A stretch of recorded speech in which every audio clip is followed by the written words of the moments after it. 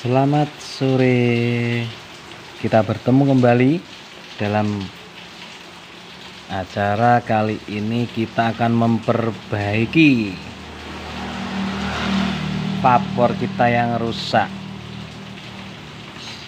Kita akan buktikan apakah bisa diperbaiki atau memang perlu pot yang baru.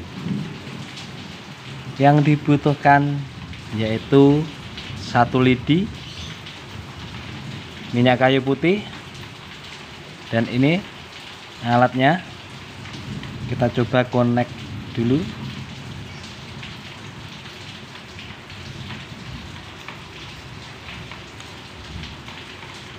Ya dia nyala berarti dia terkoneksi.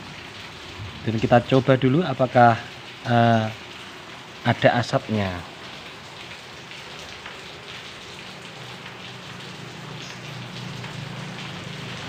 kali ini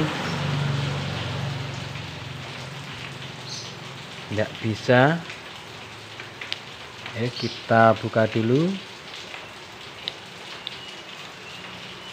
Maaf ini kameranya dipegang sendiri.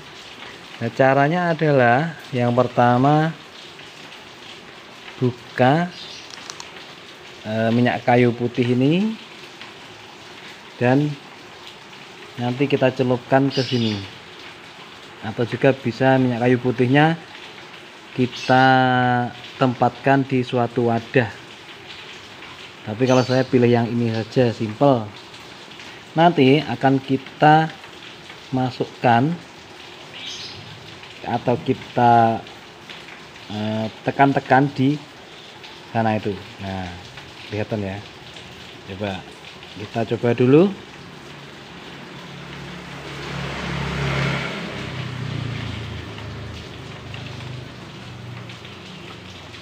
sambil kita tekan-tekan.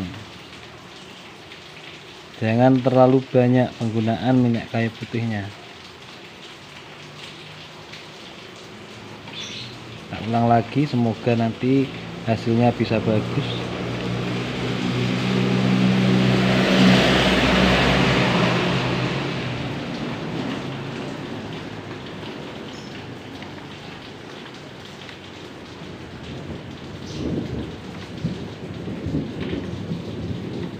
nah kita yang satunya lagi.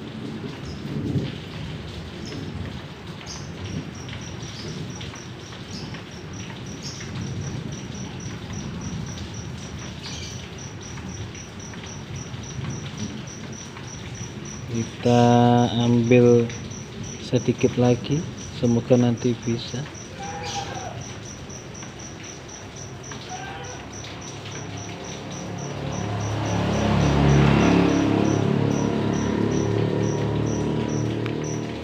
kalau sudah diamkan sebentar agar minyak kayu putihnya bisa meresap ke sela-sela ini. Kalau sudah mari kita pasang.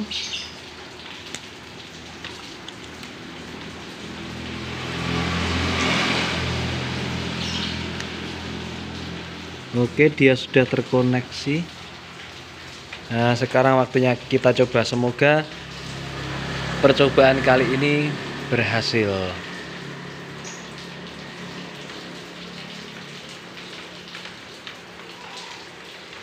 Ya tampaknya uh, Alhamdulillah percobaan kita berhasil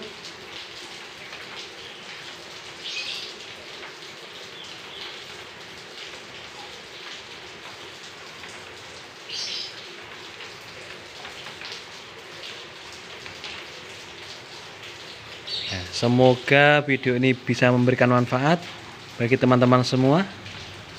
Cukup bermodalkan beberapa tetes dari minyak kayu putih ini. Oke jangan lupa like dan subscribe channel kita satu ini. Oke sampai jumpa. Sekarang waktunya beli pisang goreng